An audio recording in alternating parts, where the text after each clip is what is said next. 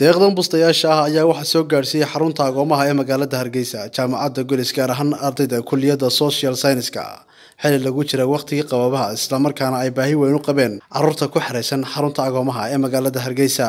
Waxaana maamulka xarunta agoomaha ee magaalada hargeysa ku wareejiyey deeqdani. Hormuudka kuliyadda social scienska maxamed cismaan cabdulaahi isagoo faahfaahin ka bixiyey deeqdani ka kooban bustayaasha ee ka timiday ardayda kuliyadda uu hormuudka ka yahay goobtan aynu ku sugannahay maanta waa goobtii xarunta agoomaha ee magaalada hargeysa. Waxaanu ka jaamacad ahaan ka arday ahaan ku wareejinaynaa deeq bustayaal ah oo aanu ugu talagalnay maadaama lagu jiro wakhtigii dhaxamaha inay isticmaalaan islamarkaana ay uga adeegsadaan maadaama wakhtigii dhexmaa lagu jiro inay u isticmaalaan inay kaga gaashaantaan wakhtigii dhexmaha. Ka jaamacad ahaan waxyaabaha ugu muhiimsan ee aanu bulshada u hayno waxaa ka mid a waa arrimihii bulshada. Waxaanu jaamacadda uga wakiilnahay howlaha arrimaha bulshada ama material viruska in waxyaabaha noo qoondaysan ama noo qorshaysan waxa ku jira inay ardaydu waxaan ay baranayaan si toosa ugu qaataan iyadiioo ficila waayo laababkayaga iyo waxyagaas waxay noqonayaan inay dadka caawiyaan dadka dhibaataysan soo ribood gareeyaan inay baahiyaha bulshada meel kastoo ay joogaan ka qayb qaadan karaan.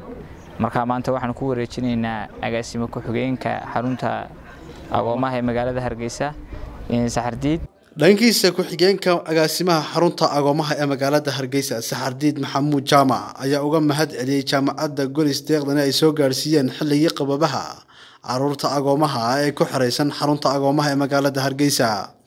Waxaa maanta sharaf weyn oo ah anaa ku hadlaya maamulka xarunta agoomaha hargeysa in ardayda dhigata jaamacadda golis siiba qaybta social work ay maanta xarunta agoomaha hargeysa ugu deeqeen bustayaashii dhaxanta oo ay tiradu dhan tahay iyo meel konton midh ah oo xalaafiyaah oo ah wakhtigii dhaxanta. Oo ay u baahan yihiin carruurta ku jirta xarunta agoomaha hargeysa.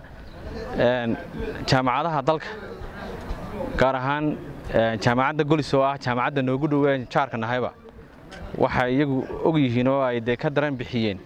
Baahayaha kolba ka jira xarunta agoomaha hargeysa aad iyo aad baad mahadsan tihiin waan iga guddoomayaa deeqdaad maanta ugu deeqdeen xarunta agoomaha hargeysa. Gaar ahaan carruurta yare ku jirta. Waxaan rajaynaya inaan noqon markii koowaad ee aad soo boqotaan. Inaad mar walba noo timaadaanoo dee xitaa advice bay u baahan yahin carruurtan ku jirtaa oo aad naga war haysaanna aad iyo aad baan soo dhoweynaynaa. Sidoo kale waxaa noogu jira ardayka badan iyo qaarka badan oo ka baxaya baa ku jira jaamacadda golis oo waa jaamacadaha nala shaqeeya ay ka mid tahay waanay ku mahadsan yihiin ugu dambeyn waxaa ka hadlay gargaarka iyo deeqaha ay jaamacadda golis gaadhsiiso shacabka danyarta ee somalilan guddoomiye ku-xigeenka maamulka lacagta iyo maaraynta jaamacadda golis brofeser isxaaq maxamuud cakuushe waxaanu yidhi jaamacadda golis waxay u taagan tahay inay ka qayb noqoto mas'uuliyaddeedana ay qaadato wixii looga baahan yahay ee kaga soo baxa baahiyaha waddanka yaalla jaamacaddu keliya wax ma dhigto waxbay baadhaa mas'uuliyadda kaga aadan bulshadeeday wax ka qabataa hawshan maanta u fadhinaana waa mid ka mid a baahiyahayga baahiyaha soo aadan ee ay kaga jawaabayso jaamacaddu. Jaamacaddu maadaama ay tahay goob waxbarasho goob aqoon raadis iyo goob ka jawaabta baahiyaha dadka iyo dowladdaba annagu waxaanu kaga duwannahay jaamacadaha kale ee waddanka waxaanu isa saarnaa intee ugu badan eed mas'uuliyad ka qayb qaadan kartaan baahiyaha waddanka yaalla. Hadday dowladda tahay hadday tahay dadka baahan hadday tahay dhinaca waxbarashada. Waxyaabahaanu ka shaqayno engineerinka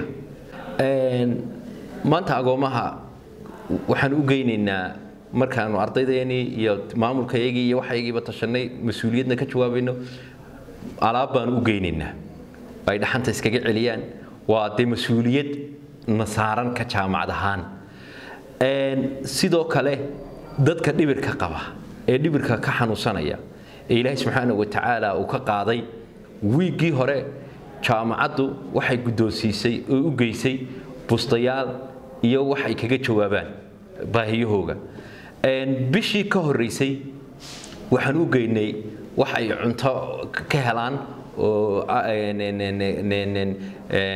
bariis yar iyo cunto wixii aan anagu qaban karayn ka jaamacad cabdiraxmaan carab daawud horyaal t v. Hargeysa